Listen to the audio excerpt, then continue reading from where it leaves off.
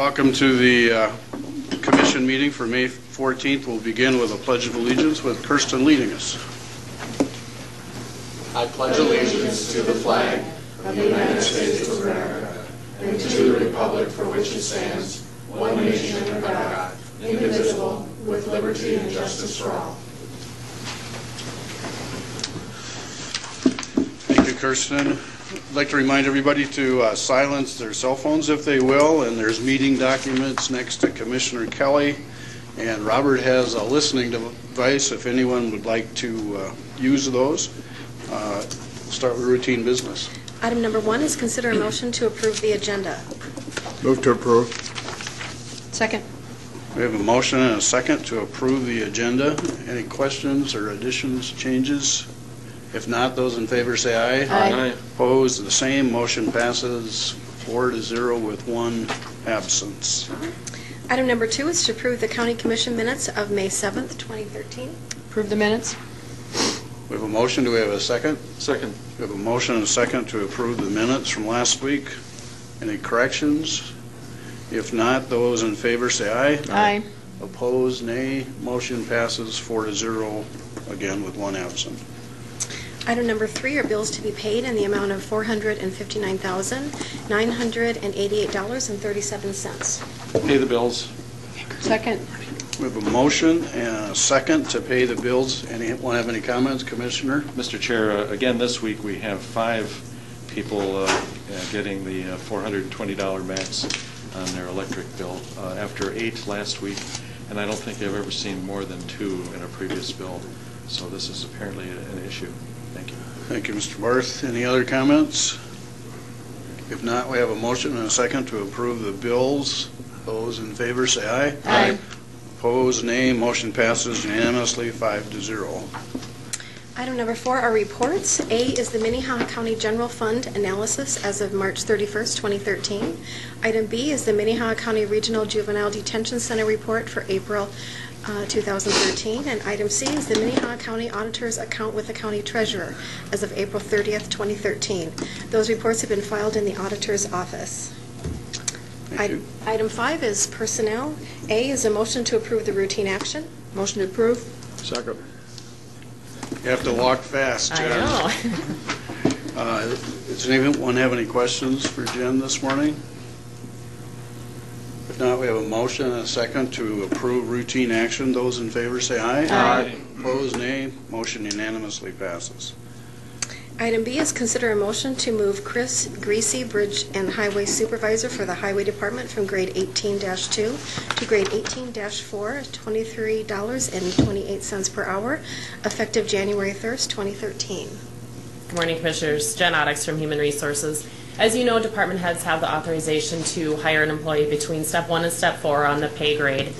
DJ Buthe, the highway superintendent, is requesting an adjustment for the highway bridge and sign supervisor, Chris Greasy, from step two to step four, backdating to January 2013 based on his qualifications. You've been given a briefing, given a briefing memo on this matter, and DJ is here too if you have any questions for him. Thank you. DJ, would you like to have any comments? Only if you guys have some questions. Okay. We have a motion? I would make a motion to approve it. Second? We have a motion and a second to approve the uh, request. Any other questions or concerns? If not, those in favor say aye. Aye. Opposed, same sign. Motion unanimously passes. Thank Thank you. you. Item six are application for abatement. Kyle Helseth. Good morning, Commissioners. Kyle Helseth, Equalization Office. We bring forward this morning five requests for abatements. All of these requests are for the veterans exemption that was granted at the Boards of Equalization.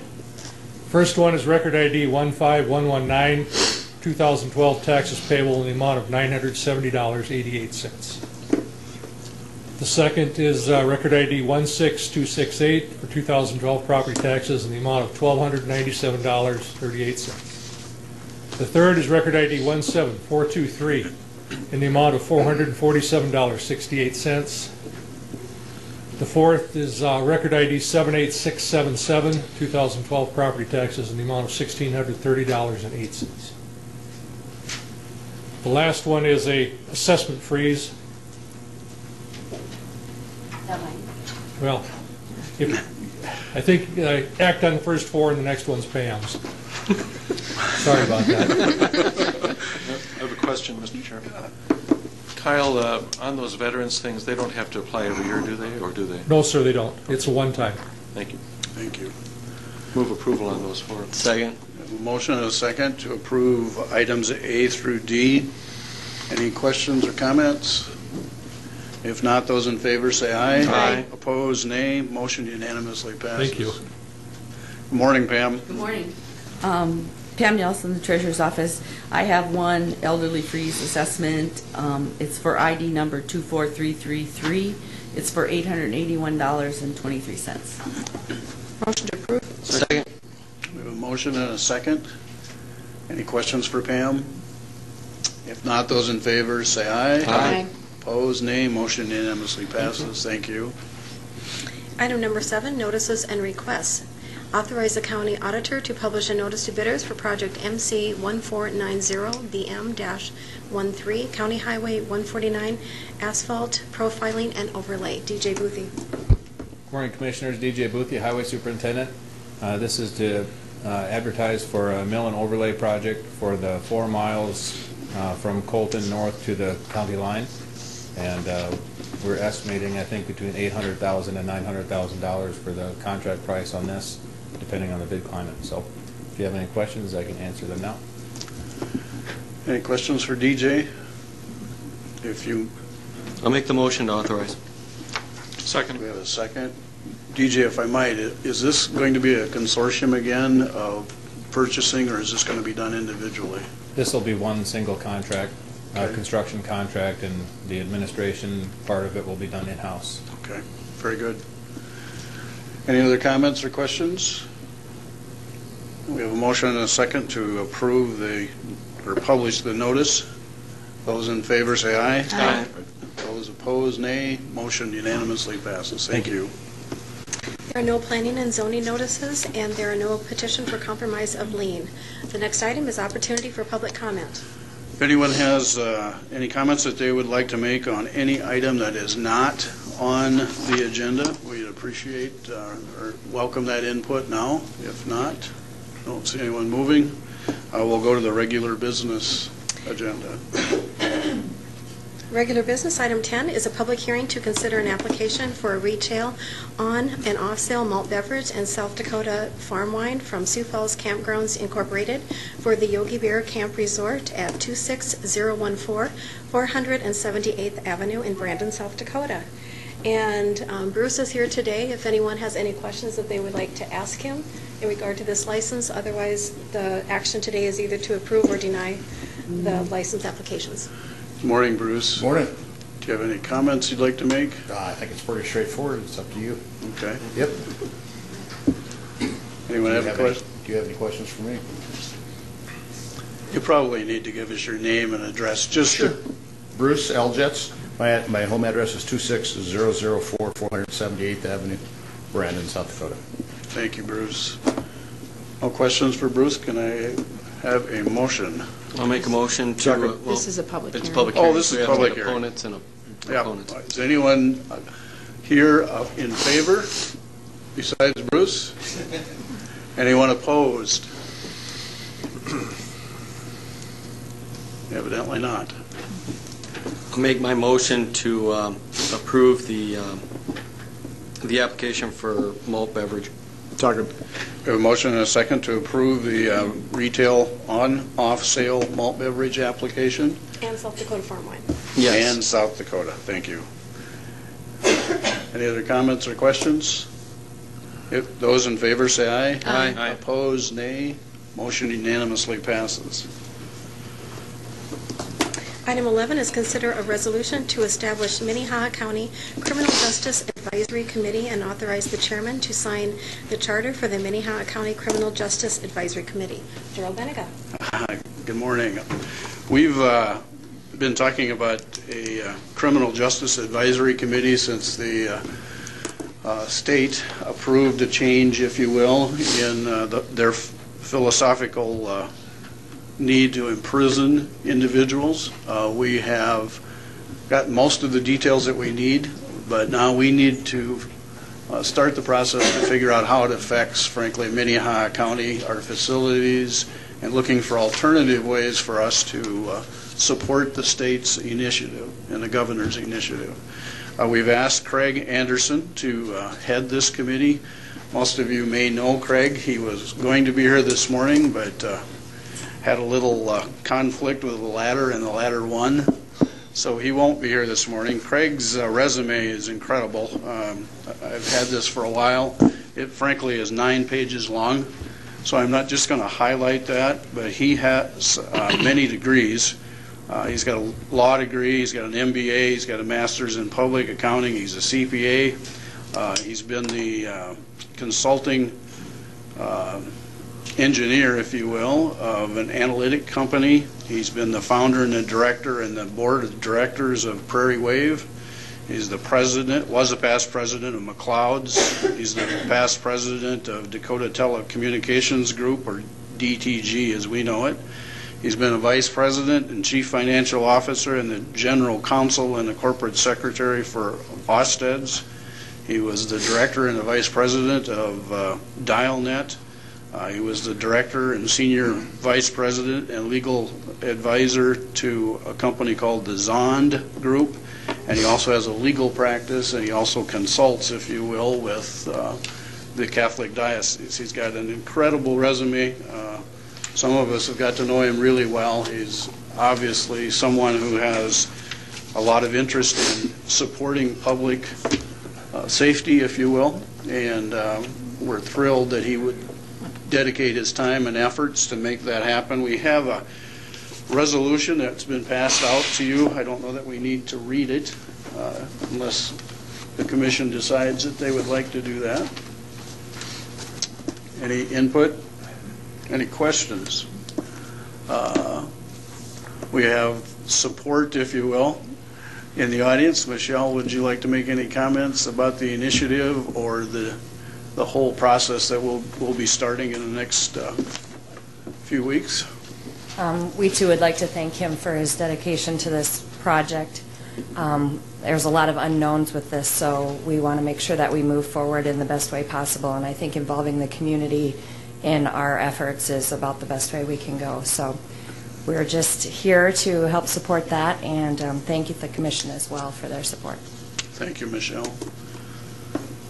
Anyone else have any comments? Um, Currently, I am the liaison with the uh, uh, Sheriff's Department, and Commissioner Kelly was also involved with it over the last couple years, so the two of us will be on the commission.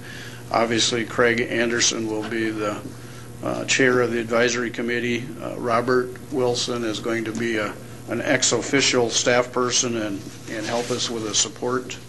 Uh, We also have a small budget for some of the travel and expenses that we may incur, and we will appoint additional members as we go. Uh, Craig has already talked about uh, task force members that have asked to be part of the group, and they will be appointed for special tasks and special uh, responsibilities as we move forward. So uh, we don't have a time frame put together, but we will do this as expeditiously as possible, but still uh, make sure that the public is made aware of what's going on on a regular basis. Other questions, Commissioner? I, I would just comment that I think this is the right thing to do. Uh, You know, our facilities are reaching capacity as well as becoming more uh, outdated at all times, and we're faced with uh, some other changes with the the governor's criminal justice initiative, which, although I'm extremely hopeful about, I'm also have my little fears in the background. So having this type of uh, committee looking at what we need in this county, I think is a great idea. Thank you. Any other comments? Commissioner Kelly? Well, you know, a lot of this evolves around the correction center, but it's going to be broader than that. But we have an opportunity now with, uh, with our former warden going to the, to the penitentiary, and we've got good relationship with the people up in the Department of uh, Corrections and Pierre. Uh, I think the state's on board with, with helping us, so I think we can work together. Craig, I can't think of a better chairman. Uh, I was delighted when he agreed to do it. Absolutely. Other comments? If not, I think we need a motion to approve the uh, resolution and the uh, charter, if you will, and the appointment of Craig as the chairperson, and I'd also like to include uh, myself and Commissioner Kelly as members of the group. Reiterate my motion and support. Thank you. Do we have a second? I'll second. A motion and a second. Any comments or concerns, questions from the audience? If not, those in favor say aye. Aye. Aye. Opposed, nay. Motion unanimously passes. Item number 12 is authorized chairman to sign jail inmate housing contract between Minnehaha County and Lincoln County. Jeff Palmer. We're just requesting to renew the contract with Lincoln County. We currently contract with Lincoln County for 12 beds every day of the year.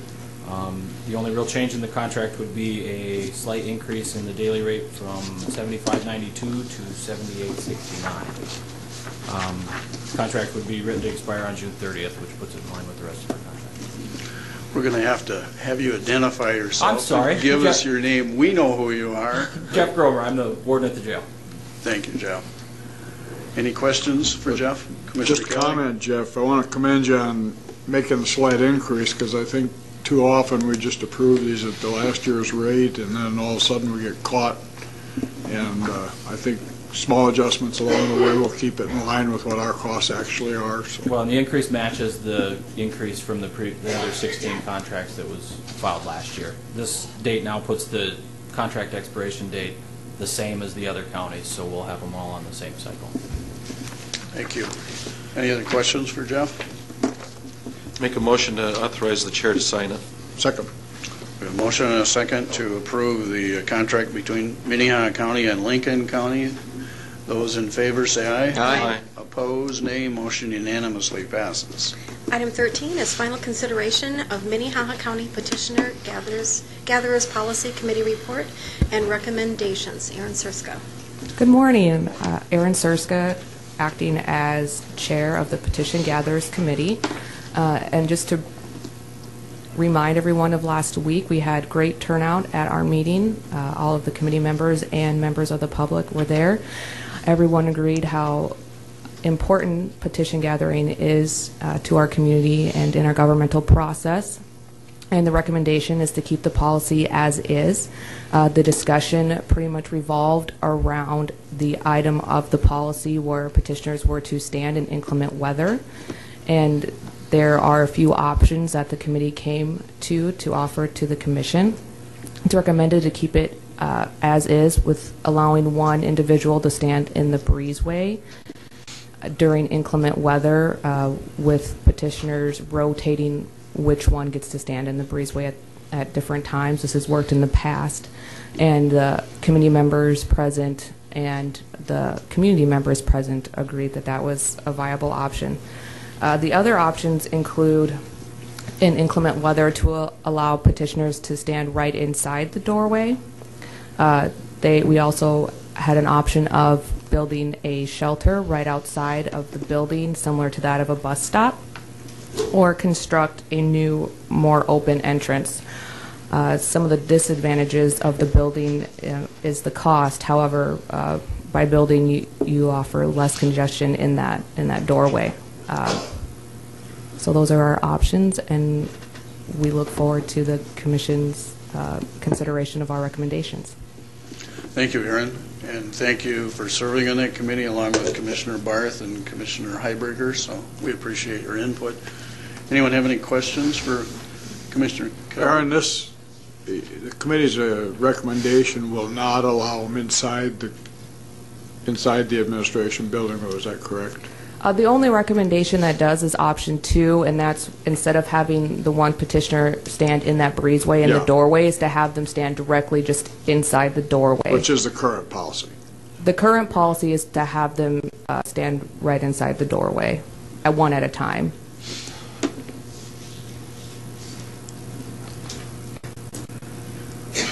Just for clarification, Commissioner, the current policy as it stands right now is that folks need to be outside of the building. However, in inclement weather, and that we can allow a person to, one person to stand in that breezeway and that, uh, um, that's how it stands right now in that entryway. The option two that um, Aaron was referring to, that instead of the breezeway, you could potentially allow them to step right inside the administration building, typically by the directory, uh, right across, you know, where the bathrooms are. I mean, inside, physically inside the building. And I believe the committee recommendation was really to keep the policy as it is right now. That was their number one um, Wh- Which would be option one. Hey, Commissioner Heiberger? Just have, just a comment. and, Sure. Um, The meeting went very well. It wasn't very long. We all had an opportunity to express our opinions, and we had some outside people too, not just, um, not just the commission and and Aaron, there was other people on the committee. Um, Now I forgot what I was going to mention. I'll have to think about it. Commissioner? Oh, I do know what it is, sorry, I had to get back to it. Um, With the moving of the driver's license people down on Kiwanis and Russell, I feel like the congestion is going to be less, because we'll have a lot of people that used to be here on a daily basis not here anymore, and so um, the congestion issue, I think, will decrease, and the only time we're looking at that is if we're gathering petitions in the winter, which isn't real frequent. Okay, thank you. Commissioner Barth? Well, I would just call our attention to uh, the options, which include uh, constructing a a shelter similar to a bus stop on the exterior there and making a- a a new and more open entrance. The fact is that this is the busiest entrance to our building. The east entrance is gloriously uh, constructed to allow massive numbers to come in, but uh, the parking lot is on the- on the other side of the building. So everybody comes in that small door, and the the door may be legally uh, wide enough for uh, handicap access, but uh, it's not very easy. And if anyone has pushed people through uh, uh, doors uh, on a wheelchair, uh, you know, you're, you're put, the door is trying to close, the, uh, the bar in the middle between the doors. I, I would like a wider entrance there, uh, one way or the other. I recognize that there are some costs, but I'm not unwilling to at least examine uh, those, those costs. And if we had a glassed-in area on the outside, like a bus stop type thing, there would be shelter from wind and from uh, rain. Uh, And I don't think it would hurt the uh, appearance of the building. Anyway, uh, this is an option. Perhaps we can talk about it at a future time, maybe in the building committee. But I I think that right now, it's not very easy to get through with handicapped people. Thank you. Any other comments? Any other questions for Aaron? No? Uh, We'd certainly like input or comments from the audience if they wish. Otherwise, we will, uh, no one moving? Good morning. Good morning, Theresa Stehly, Sioux Falls. And um, I agree with Commissioner Barth that that, having been down here with the Snowgate petition drive, that that doorway needs to be widened. And actually, after we had that last task force meeting, some, several of us went down and looked at the areas, there's restrooms on the side, and it would be neat if they could come in and widen that whole foyer out so that there is more passageway allowed. But at the end of the day, you know, we, we've had our, our a surgence of petitioning here. We just had a referendum happen. These people got signatures, worked so hard, and they got over 6,000 signatures in less than, I think it was two weeks. I mean, that is, that is fabulous. I can tell you, having been out there, that is, that shows you that people are willing to get in and participate. And those people from the Shape Sioux Falls thing told me, we will never look at a petitioner the same way. I would challenge each one of you to get out there sometime and hold a petition. You will see it from this side of the fence at that time. It's a fabulous thing for our community. Spellerberg, Snowgates, now we're going to have Shape Sioux Falls on the ballot. This is activism at its best. So common sense needs to prevail here. I would like to see this group of people i doing things to encourage that instead of spitting in our face at times and saying, you know, we're, we're, this is a hassle because people are asking us to sign a petition. No, this is fabulous. We need to encourage it. So I'm, I'm hoping that we'll just make this a warm embrace to the public. Thank you. Other comments? I'm Bruce Danielson. Uh, I was here for the meeting with Jeff Barth and Cindy, and The, uh, uh, I really want to stress the, the ADA aspect of it, having a disabled family member and having watched the disabled people going through that entrance. And the entrance needs to be, get rid of that center uh, mailbox unit. People are standing there, also, while all these people in their wheelchairs or their walkers are going in and out. I just watched somebody come in the door here a few minutes ago when I was coming in. And it's difficult. And it's not smooth anymore. The, a lot of these modern wheelchairs have small wheels on them that can't get over the hump very easily. They're motorized or they get pushed. So there's a lot of aspects of those 50-year-old doors that need to go. And the easiest way, having watched people actually waiting for their bus ride to come and everything else, they're standing there by the door waiting for somebody to come, and they're blocking the entrance. So it isn't just the petitioners or the, uh, it's people who are waiting for their rides, it's people that are, that are disabled, they're all standing there or riding in their wheelchairs, waiting to get through. So having had to deal a lot with ADA, I see that that is probably your biggest legal hurdle for that entrance. And it's not allowing people, oh, if you're disabled, go to this door or that door. They have to go to the door that everybody else goes to. There isn't a segregation aspect here. It's ADA is equality. And having done the snow gates and been involved in petition drives, I can go from that one. Teresa covered it very well. But I just want to stress the ADA aspect of it. And thank you. Thank you, Bruce. Any other comments? Well, I was on board for a little while. I don't know what mailbox he's talking about, but if he's talking about my drop box for property taxes, that'd be a big problem. Oh, can can I answer that? I would like to see that included in a new entrance aspect. I mean, that's not a problem. I totally agree because I use that mailbox. And thousands of people do. So if Exactly. you're thinking about getting rid of it, then I'm not on No, but board it's- here. Bruce, just a second, we have to have one at a time at the Okay. microphone, so I'm sorry. We'll wait a second. So my concern was if the mailbox he's talking about is my drop box that people drop off their property taxes and stuff, then I have a problem with that because thousands and thousands of people use it. And that would be an issue. Thank you, Pam. Questions? Commissioner Just a comment. I believe that we are compliant with ADA standards, and I realize it can be some issues, and I appreciate your comments and stuff. We have a 50-year-old building that, you know, that can be looked at in the future, but we are compliant with ADA Oh, I- standards. y- It's, it's, it, it meets minimum standards. I, I, I agree with that. It's a 36-inch door and, and the other parts that go with it, and I agree with that. And I, and I'm sorry Pam for interrupting you, but I, I forgot about, I wanted to mention, you know, the importance of that box. Mm-hmm. And with just a slightly enlarged entry, you know, outside the building, if that, if the cost could be looked into to have a, something out there that, that allows people to have that gathering area that's right now being used at the bottom of the steps or in the foyer, you know, that's what I was asking about. Thank you. Morning, Ken.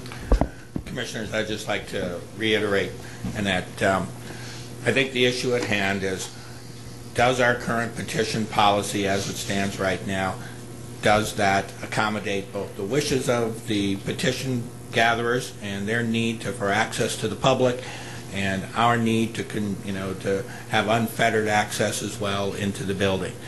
And, and, and whole, I think it does. I think our current policy accomplishes those goals, and I would not recommend any change to that policy, and I would recommend that you reiterate that that is the current policy as will be followed. The issues of expanding the doorways and that, and some of these other structural issues, I think those are absolutely worthy of discussion and exploration, but I don't think those issues right now should cloud, does our current policy meet the needs of both the petition gatherers and our need to have unfettered access into the building? And that, so we can certainly look at those things and incorporate uh, and look at costs and see what it would do for future entries to the building as part of your capital improvement schedule. But I would, I would urge you to consider, you know, to stick with the policy right now. And that, and Thank you. Any other comments, questions, Commissioner Kelly? Well, I agree with Ken that, you know, we, what, I, I'm not happy with number one, but it's better than any of the other options. But I do think we have an obligation to, to look at that entrance. It's not a convenient entrance by any stretch. And, uh, uh, I think today people are expecting the automatic doors anyway, and, and I, I think we should seriously look at it before budget time and see how we could fit that into 2014 or 15. Thank you. Any other comments, Commissioner Heiberger? I'm sorry. I'm pretty sure we have an automatic door there for We do. accessible entrance. Commissioner Heiberger? I'm just ready to make a motion. Any other comments? Otherwise, we'll go with the motion. Commissioner Heiberger? I'd like to make the, leave, leave the policy as stands. Second. We have a motion and a second. Any other comments? Any other questions? Commissioner Barth? I just would, uh, you know, also accept the work of the committee, uh, uh, being a member of it, I suppose that's heading myself a little, but uh, we have a number of folks here that came, and I appreciate their attendance. Thank you. We have a motion and a second. Commissioner Pecas? Yeah, me. and I just want to reiterate that the Minnehaha County Commission does recognize the fact that there is a constitutional right to petition, and that we are going to acknowledge that right, and if anything, this entrance situation that was brought before the commission is incidental uh, to, uh, unfortunately, the process of gathering petition signatures. Thank you. Any other comments? If not, we have a motion and a second to approve, which is option one, Yes. to leave it as is. Let's do a roll call vote, please. Commissioner Barth? Aye. Heiberger? Yes. Kelly? Aye. Pecas? Aye. Beninga? Yes, motion unanimously passes five to zero. Thank you. Item number 14 is consider a motion to reappoint Kim Ringer to the Siouxland Library Board of Directors. Gerald Beninga.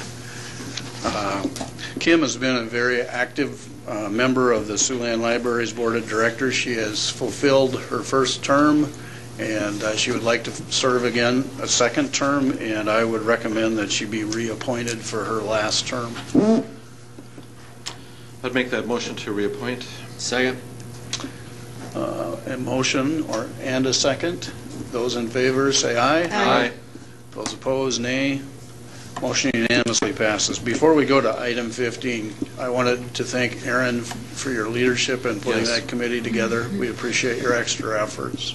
Thank you. Item 15. Item 15 is consider resolutions to compromise various categories of county aid liens in accordance with county policy. Bob Litz. Good morning, Commission. Bob Litz from the Auditor's Office, and uh, this is our annual lien cleanup policy. The current policy is to cancel the following categories of county aid- aid liens annually. Liens of more than $30,000 reduced to 30,000. I think that was a courtesy of Commissioner Barthier a couple of years ago. Liens on deceased persons with uh, reduced to zero, and what we do is we wait one year unless we have verified the estate has no assets, and that list has been reviewed by Human Services. Third part would be liens with no activity for 30 years, reduced to zero. Fourth is liens under $250 with no activity for 10 years, reduced to zero. And the fifth is the liens identified as uncollectible, to deceased, transient, social security income, homeless, or no resources, they'd be reduced to zero too. This list has been compiled by Human Services. I'd request that you approve the attached resolutions, which will cancel the liens that have been identified in these categories. If you wish to see the details, list of the liens to be canceled, please let me know and I'll bring them. Uh, The attached chart shows the history of our annual lien cleanups and the increasing balance of liens owed to the county. I'm requesting that you would, uh, you would sign the uh, resolutions today. Thank you, Bob. Any questions of Mr. Litz? Commissioner Heiberger? Just a comment, this will clean up 266 liens for a total of $364,492.61. I don't believe that's the right number. Is that It's a right? huge number. Okay, I'm looking at the wrong thing then. Um, 722,551 and 17 cents. Thank you. Sorry. No, that's not a problem. Um, I think the thing that is Oh. amazing to me is even with the cleanup of these liens, we still have what, 20, almost 27 million dollars? Pardon? 57 million. 57 million. Of liens still outstanding in the uh, budget process, which who knows if we'll collect any of it. It's a significant number that count, the county is responsible for that never receives any revenue for the services provided, so. Well, and I'd also like to add that since 1991, we've, uh, we've forgiven over $21.7 million. We have a need for a motion, Commissioner Barth? I'll Barth? make a motion to do that, but I have a question for Okay. the auditor. Uh, Is there a second? I'll second. We have a motion and a second, Commissioner Barth? Auditor Bob, is there anything we can do additionally to try to collect some of these monies? You know, if there was, I, I'm not aware of what it is, and, uh, you know, I looked the situation over when we first got here, we were, we talked a lot with Deb down there, and um, according to state law, we'd have to change some state laws to go after folks, and I, I- I don't have a good answer for you, Commissioner. Call some guys from New York to come and help. That'll work. Well, if I may. Sure, Commissioner We- You know, uh, government, unfortunately, you hear the uh, uh, genre that government needs to be run more effectively like a business. There is not a business that would be successfully in operation that could sustain the kind of deficit and the debt that we carry. Uh, And that's by state law. We're required to provide these bare minimum services for what was affectionately called the poorest of the poor. And that's our responsibility. A business would not choose to do that. And that's why government, unfortunately, takes the trappings of a business unit, but is not run like a business unit. Uh, We would not make these investments if we did not have to by law. So, you know, I always hear about the fact that we run these amounts and we have this debt, but uh, the reality is that, uh, you know, you hear on our, our city side of the house that, uh, you know, we have to have, you know, a strong business model. And unfortunately, we wouldn't succeed if this was a business model because of state law. And so um, uh, that's why uh, I think government needs to be run as government and not as uh, necessarily the cold, hard uh, business model that many people champion. Um, It just doesn't work that way. And if you want to change it, get elected, go to Pierre, change the statutes, just as Auditor Bob indicated. Commissioner Kelly? Bob, do we have any idea what percentage of the, tr- of the 57 million are public defense costs? Uh, I couldn't stand up here and tell you that today, but if you'd like me to research that, we'd uh, certainly be willing to do that. and give Would you it take a great deal of research to find out? So I I don't know the answer to that either, Okay. standing up here. Maybe Mr. Pecas has an idea. I, I do believe it was running about 17 million, I think, and that is a pittance compared to the hospital liens that we have. Uh, I would say it's about 25% of what we have compared to hospital liens that we have. Okay. So it's not, it's not criminal defense costs. It's our two major hospital systems that are dealing with providing health uh, services for individuals that do not have health insurance. Any comment, other comments or questions, Commissioners? Mr. Chair? Yes. Uh, Yes, I'd like to follow up on uh, Commissioner Pecas's comments about the, the nature of government. And, uh, you know, the nature of government is to provide services, of course. And if we ran it on a business model, that would also mean we have profit, meaning it would cost more. And I just don't think those who advocate for that type of position really have thought that through. Right. Any other comments? We have Did make a mo- motion, so. uh, We do have a motion and a second. Is that for all three or four Uh, resolutions? We can have one motion, as I've been told, for all of items A, B, C, D, and E. That was my, s- uh, my motion. Okay. Thank you. Any other questions? If not, those in favor of approving uh, item 15 signify by saying aye. Aye. Those opposed, nay. Motion unanimously passes. Thank you, Commissioners. Item number 16 is a briefing from Minnehaha County Auditor on establishment of a capital accumulation fund. Bob Litz. Still Bob Litz from the Auditor's Office. Uh, I'm bringing this uh, forward here again. We talked about it a few years ago here, uh, the idea of uh, accumulating some funds for uh, restricted purposes, and, uh, but we didn't have any money to accumulate at that time. And I would tell you today that the, the county position is a little bit better than the last time I brought this up. But uh, You know, there's, uh, it's been previously discussed by the commission, the idea that the county accumulate funds for capital purposes. And there have been some departments discussing future infrastructure needs and the methods to obtain funding to do so. The idea that we do not have a methodical process for keeping up with the depreciation on our capital investments is also a concern. Uh, Just to demonstrate how much depreciation we experience in a year, I've assembled the following. And uh, the total of the 2012 depreciation was 4.7 million. And uh, out of that there, I've got listed buildings, land improvements, equipment general fund, equipment highway fund, equipment other funds, and infrastructure highway. And I chose to leave the bottom three off uh, in compiling my numbers, uh, simply because uh, those are different revenue sources. And, and I also want to say that these numbers are kind of some raw numbers. We can go through this budget and say, well, you know, so-and-so got a new chair, doesn't that count? Uh, You know, the IT department, highway, there's, there's all sorts of things to parse on this, but I, I just want to put forth the bigger numbers here today. Uh, The first three items are what the building fund helps ameliorate the depreciation of. Those, those items total 2.2 million, and those are the focus of my discussion today. The other depreciation items have various means of slowing or limiting depreciation outside the general fund or within department budgets. Below shows the actual amounts and expenditures for 2012. The total of the building fund in 2012 is 3.8.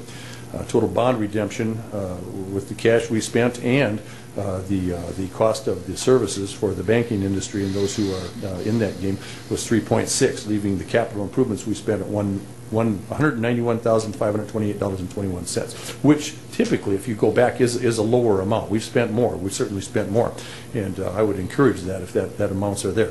The total depreciation of 2.2, 2,272,159 uh, If you subtract the uh, building fund expenditures of $191,000, we come up with uh, a little over $2 million with a gap in the investment. And uh, there is a way to help offset the gap in uh, this investment uh, versus depreciation. It's called a capital accumulation fund balance, as it's outlined in South Dakota Code uh, 7-21-51. The statute outlines the general concepts and conditions of the account. Some of the considerations that are brought forward would, the first one would be a a resolution would be required to establish an assigned fund balance. Second thing, uh, uh, main thing would be requirements for additions to the account would need to be established. And then uh, third one would be conditions under which the expenditures could be made and would, and then you need to outline that and decide on what you want to spend the money for. And some of that's outlined in the, uh, in the uh, uh, statute that I provided. And for this discussion, I have included the statute that outlines the availability for capital outlay accumulations. Uh, Second, the 2012 budget balances. Uh, Third, the 2012 budgeted reserves or revenues ver- versus actual revenues. And uh, the 2012 assigned uh, or unassigned and undesignated fund balances that would actually be available for this type of thing. Uh, And when considering these, uh, these amounts, especially the unassigned, undesignated fund balances, if the commission decides to support this notion, we'll need to put together a resolution. And I would also remind you that, uh, uh, you know, we were trying to build up our cash in these last couple years, and it looks like we're kind of getting over that place where Mr. McFarland will no longer have a heart attack when we talk about budgets. So I'm, uh, I'm open to uh, any, any uh, questions here or any ideas for this here. And, you know, I would also say this, that, that, that basically what we're, we're kind of looking at here with these big numbers is, is a, is a philosophical shift that I, I brought to the auditor's office. Now, there are those who believe that uh, when you are collecting tax dollars, you spend all, them down as close as you can get every year. And I understand that, but I also think that uh, we've had a shift in the philosophy here, and, and I'd like to bring forward the notion that it is good stewardship of the public's money to set aside some money, and uh, it, it, it would also uh, probably improve our bond rating as we went forward if we had a little bit of a, uh, a backup fund here. But you know how much and what to do with that money is, is entirely up to this commission if you support this notion. Thank you. Any questions? uh, for- Well, Bob, we're effectively saying we're going to fund depreciation. Is that You kind could- of where where it's coming from? I'd like to point out in 72151, uh, there's a phrase in there that Kirsten probably would like, and it says, "includes any purpose which is extraordinary in nature." And that is a safety valve that would allow you, if you're low on cash at that point, you can do a lot of things with it. It's up to you as a commission, but you're going to have to talk about it before you do it. And you also need 60% of the governing body to agree on that, on whatever is brought forward.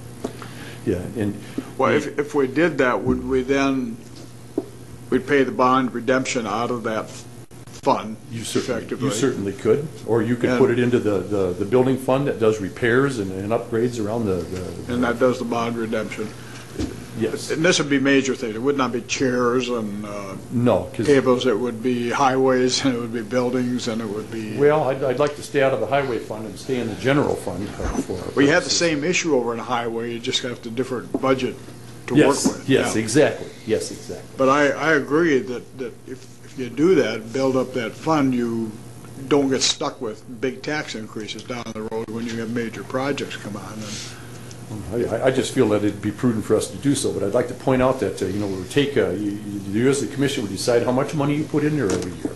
And at the end of 84 months, which is five years, then you're going to have to look at that total amount. If you've not spent it at that point, it will take a resolution every year to keep that going. Commissioner Pecas? Thank you. And I guess uh, in my time I've been on the commission, we have been adjusting from what I'll say affectionately back in the 90s was the county funding source fire sale, which uh, the um, uh, legislature gave away effective funding sources for the county. It's amazing. We've had many different city councilors uh, come and serve on the commission, and they're always dismayed at the financial structure that we have at the county because, quite frankly, we're paupers. We get a dollar, we spend a dollar. And there has been literally uh, 20 years of that taking place here at the county. And if there is some big funding issue that has to take place, the only option we have is to run for an opt-out because we operate on we get a dollar, we spend a dollar. We're paupers. And uh, ultimately, this does bring us up to having the financial acumen to try to save a little money so we can get out of what happened back in the 90s. And uh, I don't want to go into a history lesson because, as Commissioner Benning always says, history is history. But uh, there is a reason why we've had this system set up the way it was. And this does take some small steps forward to try to correct that. So I'm going to support it. Any other comments? Commissioner Barth? Well, I, I would just say that, uh, you know, anytime we collect more taxes than we need, uh, the public has an objection to it. And uh, the idea that uh, our philosophy has been to uh, uh, spend every cent, it's, it's really not to spend every cent is our philosophy. Right. And uh, uh, getting those cents has been tough, uh, as Commissioner Peck has pointed out. Uh, The idea of having a- some kind of a reserve towards our many projects uh, going in the future, uh, it'd be nice, but I I have a feeling that, uh, you know, uh, this county is probably gaining 5,000 new citizens a year when you count the city and and the rural areas. These things cost money. And, uh, You know, uh, by the end of this century, we could be 800,000 people in Minnehaha County. Uh, What are we going to do? Uh, We've got to prepare for the future, and it doesn't mean we set aside a reserve. It means we go full blast towards the future, and uh, it would be nice to have a reserve. Commissioner Peck, Kelly? Um,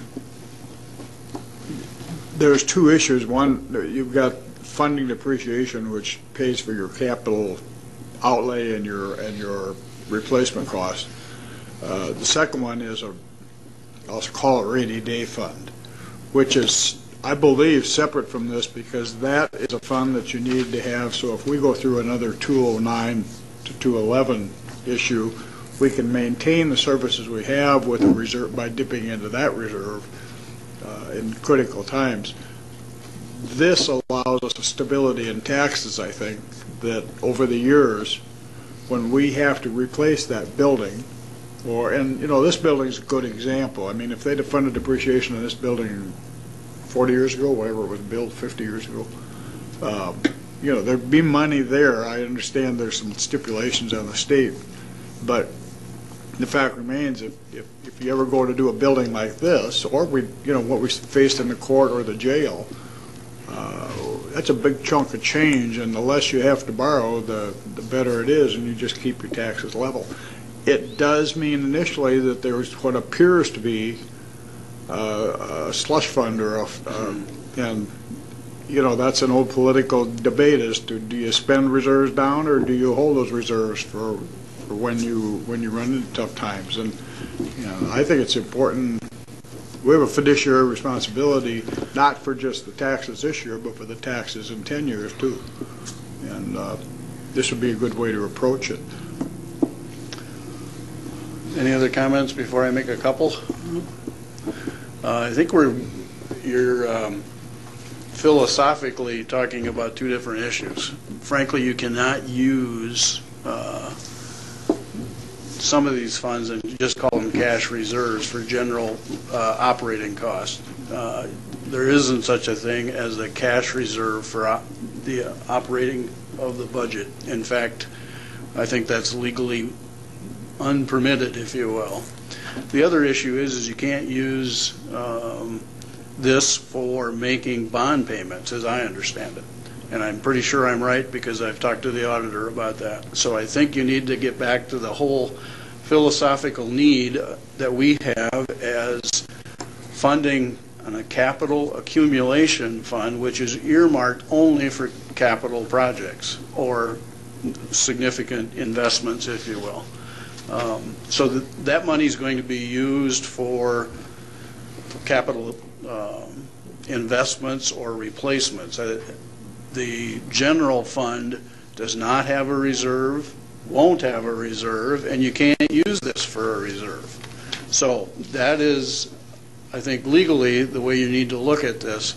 I also think that, from my perspective, when we started to talk about this, we also had a philosophical conversation about unapplied cash and the 5% allowance issue of uh, our requirement to set up a bad debts reserve, if you will, for people who didn't pay their taxes.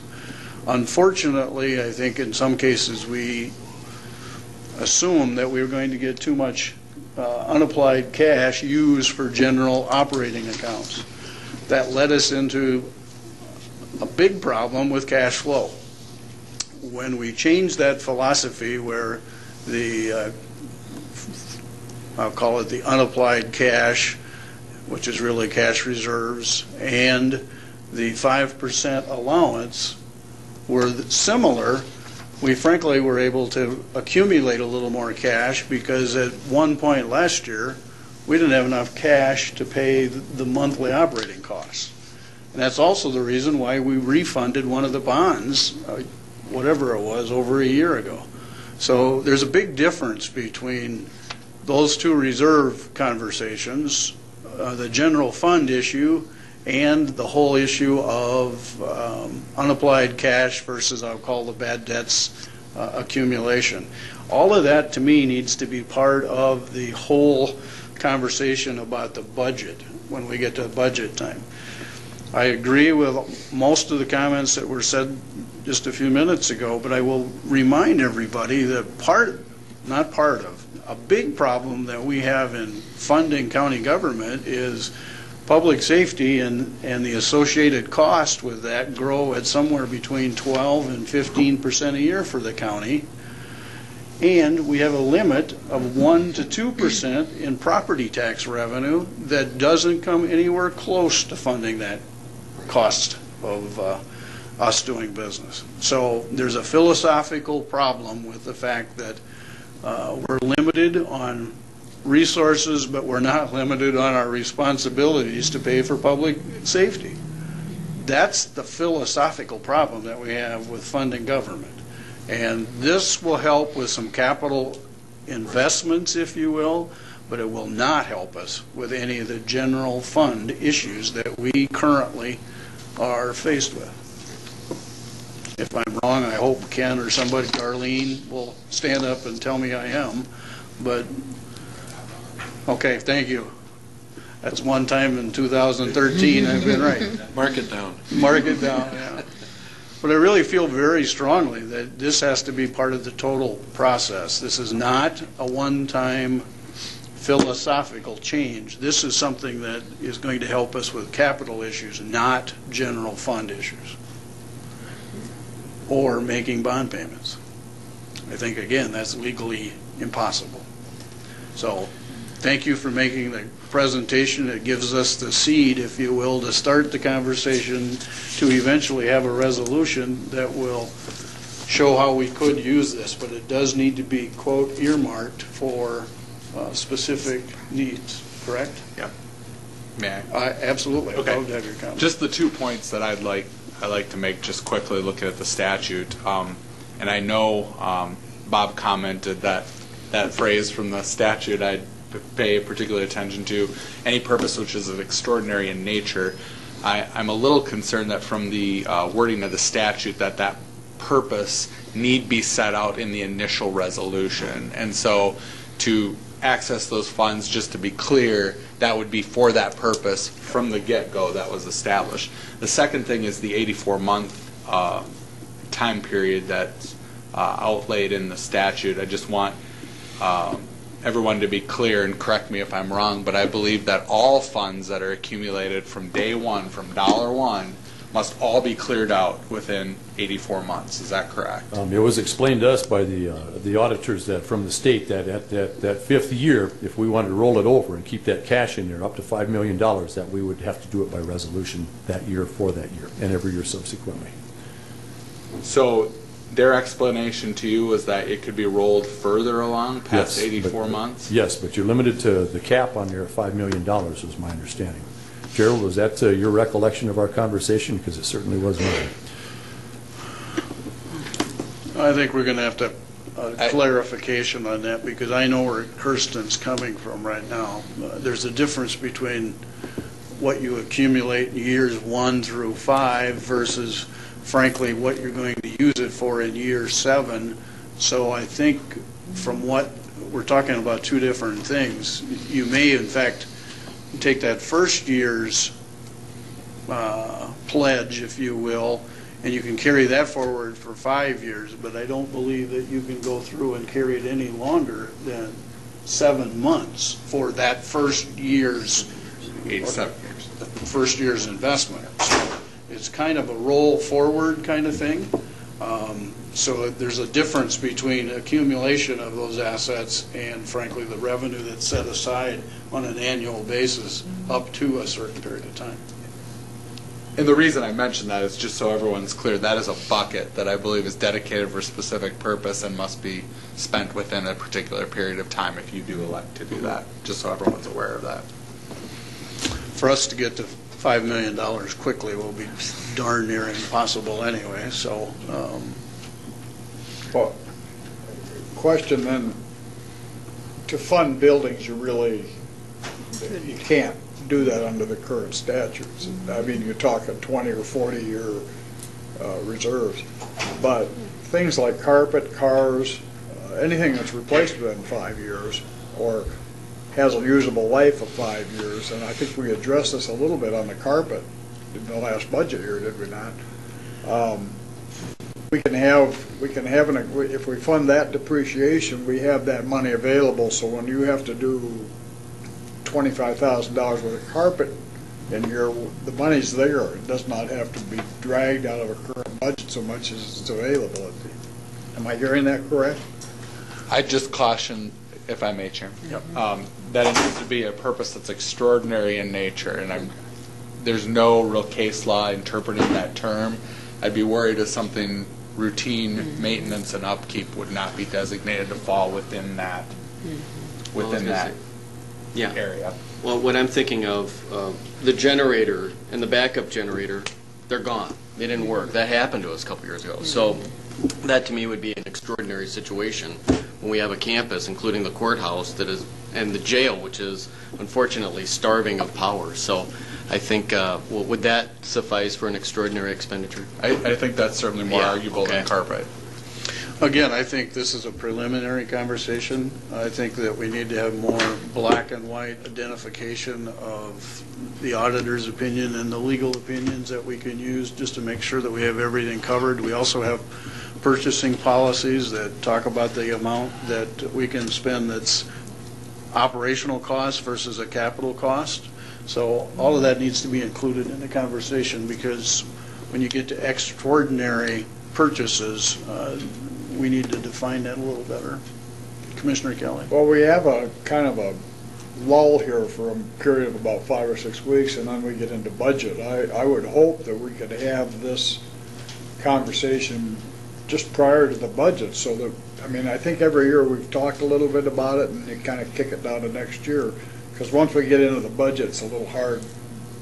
It- it- If you have the facts on this thing, the legal and the auditor facts and the- and what state law allows, we can address that or begin to address it this budget year. Instead of delaying it a little bit more, I think it would be important to be able to start on this thing at least this year. Well, it is, but I will tell you that the reason it got kicked down the road forever is because you didn't have any cash to kick. That's right. Poppers. Yep. You could kick this forever because it was never going to come up. Now it has come up, and we have the ability to set some policies to, to address it, so. And that's the right time to start doing it. Absolutely. Commissioner I was actually going to say the opposite. I think it needs to be right after we've approved the budget, and I think there's kind of a lull at that point, too, that we can look at something like this. At least if we're aware of the situation, we can move forward. Mr. Chair, I, I also see issues with it because I don't see us having anything extra when we get done with our budget. You know, the best time to have planted a tree is 20 years ago. The best time to have been saving $5 million was five years ago, but we couldn't do it. We couldn't do it five years ago. The second And, best uh, time is Right now, we've got enough building projects. I mean, if we saved $5 million for the JDC and saved $5 million for the highway department, saved $5 million for the jail, and a couple of million dollars for the collection facility, that would be great, but we didn't, and we don't have it. So if, let's say we decide to, you know, build two more floors on our jail next year, it'd be nice to have $5 million saved up, but we're not going to save $5 million by t- this time next year. So I think, uh, let's plan on a reserve and forget about funding it. I disagree completely. I think we would all have a problem with that, Jeff. Um, The deal is, is at this point, it is just a conversation, and it's been good conversation, uh, but there has to be more extensive information provided so that we can come up with a policy that is workable and makes enough sense for us to be somewhat flexible, but still meet the guidelines that the auditor and the attorney are going to give us. So, um, and at this point, uh, whether we do it before or after the budget um, probably isn't as big a deal as the fact that we have the conversation and get the process rolling, so. Any other comments? Mr. Chair, may I make a Litz? suggestion? Yes. Uh, The state auditors are planning on being out of here Friday, and uh, I was wondering if it would be a good idea if perhaps the chair, uh, our our legal counsel, and and somebody from the auditor's office uh, just had a a powwow and kind of got some of these ideas, everybody on this, on the same track, is um, we all see the color green a little bit differently, and I think uh, maybe we're all on the same track, but uh, we need some clarification. I I would, uh, I would think that'd be a good idea. Well, we can have the conversation, but I will tell you from my experience, uh, the conversation is good, but I want something in writing. And I don't know that we'll get that by Friday. We can get the, you know, the legislative uh, response quickly because it's in law, so to speak, in an opinion, but the auditor's probably going to want to take some time to look at it also. I'm guessing. Well, then, uh, then uh, I I would gather from this here is uh, I would simply wait and confer with perhaps you, the chair, as to the next appropriate time to bring this subject forward. I think we can ask the um, auditor right now for a written opinion in the next few weeks before we start the budget process. That would come out of Pierre, though, not out of the people in that room, wouldn't it? He would probably have an opinion, but I'm guessing he's going to ask his supervisors before that goes into writing. Right. Correct. Thank you for your, uh, getting this process started, and uh, we'll look forward to continuing the conversation at budget time. Thanks for your time, Commissioners. Item Item 17. 17, Minnehaha County Commissioner Liaison Reports. Uh, Commissioner Heiberger. I have one, it's very short. Good. Just that we had some boiler problems out of the JDC, so you'll be selling, seeing a bill come through that in the next couple of weeks. I believe it was under $1,200, turned out to be less than we expected in the beginning. Oh, that's good news. Any other liaison reports this morning? I'll be gone next week. Thank you. Uh, Any new business? Any old business? Ken? Just very quickly, um, uh, tomorrow, and that we start with the partner counties and the JDC Advisory Board are, are kicking off their uh, preliminary planning session with perspective as far as taking a look at the JDC as it relates to the JDAI initiative, so we'll be kicking off that process, and we're making inroads too about JDAI into Lincoln County and our partner counties. Uh, We've got meetings set up here within the next couple of weeks to facilitate that grant as well. Oh, thank you. Any questions for Ken on that? It's a great program, obviously. If not, we need to go to an executive session for pending litigation, legal briefing, personnel, and contract negotiations. Make that motion? Second.